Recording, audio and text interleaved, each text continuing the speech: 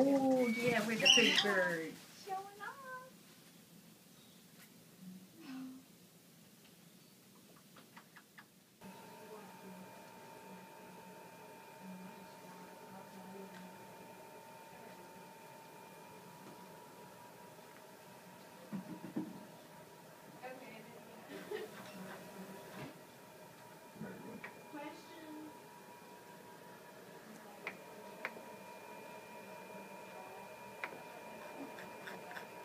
Mm-hmm.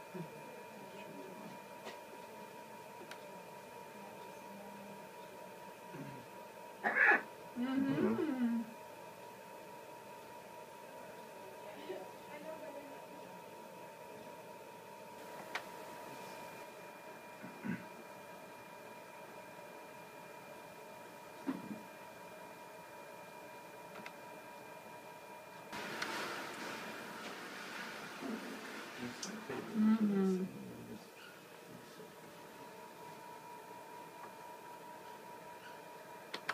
No right ventricular enlargement. Doesn't Mhm, come up good. and around the Mhm. edge, so. No right ventricular hypertrophy Mm-hmm. that you would see with usually complex cardiac anomalies. Mm-hmm. So we don't see that. There is no left atrial enlargement Mm-hmm.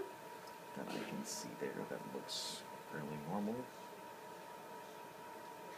How about the aortic valve? It's a little hyperechoic, but it's there's no um, see the little bright little echo there. Don't think I, I don't think that's anything actually, Mhm. because when I look at the aortic velocity, it's not particularly that fast. Okay. Um, there's this I think is more valve motion. I don't think that's aortic insufficiency. It's at a one to 1.5 meters per second for every species. That's normal. Okay. How about the tricuspid?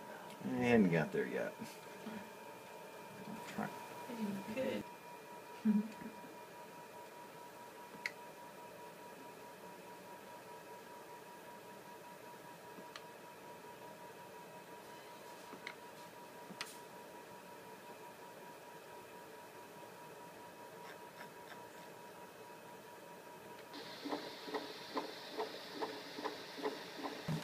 I don't think So that's. it's this part that here. spike. This is valve motion. That's, That's regurg the- spot okay, got it. because you're getting ejection and Mhm. then a small little revert, and it's it much. It's 50 centimeters per second. Mm-hmm. That I think is valve motion. Okay. Mm-hmm.